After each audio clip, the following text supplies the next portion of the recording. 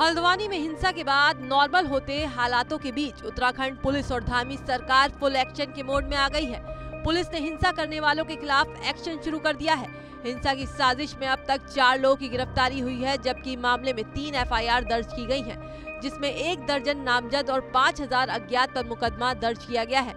Police लगातार गिरफ्तारी कर रही है, जो सरकारी संपत्ति बर्बाद हुई है। उसे उपद्रवियों से वसूला जाएगा। तो इसमें जो उपद्रवी है, जिन्होंने इसमें ये सारी आगजनी और पथराव किया हुआ है, उनको पुलिस लगातार चिन्हित कर रही है। धरपकड़ अभियान इसमें जारी है। इसमें अब तक जो है चार लोगों की गिरफ्तारी हुई है और भी लोगों को जो है पूछताछ के लिए बैठाया गया है।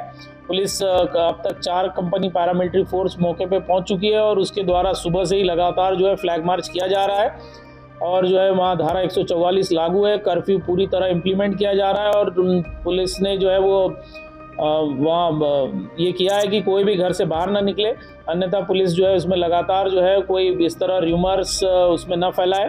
पुलिस लगातार जो है इसमें कार्रवाई बहुत सख्ती से करेगी। जो भी उपद्रवी है, उनके खिलाफ जो है सख्त से सख्त धाराओं में यूएपी की धाराओं के तहत भी जो है इसमें कार्रवाई की जाएगी। उधर उत्तराखंड के सीएम पुष्कर सिंह धामी ने हल्द्वानी पहुंचकर हालात का जायजा लिया। अस्पताल में घायल पुलिस वालों से मुलाकात के बाद सीएम ने कहा कि पुलिस पर हमले की प्लानिंग पहले से की गई थी। कानून अपना काम करेगा।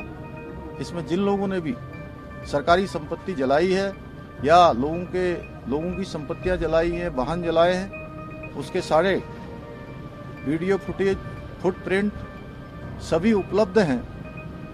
उसको चेक किया जाएगा, जांचा जाएगा और उस पर जो भी कार्रवाई है विधि सम्मत जो कार्रवाई है, वो कार्रवाई यहाँ पर की जाएगी। भारी चौकसी और पुलिस के एक्शन के बीच हल्द्वानी में फ़िलहाल हालात काबू में हैं। बता दें कि हल्द्वानी में 8 फरवरी को हुई हिंसा में अब तक छह उपद्रवियों की जान जा चुकी है 100 से अधिक पुलिसकर्मी जख्मी हैं।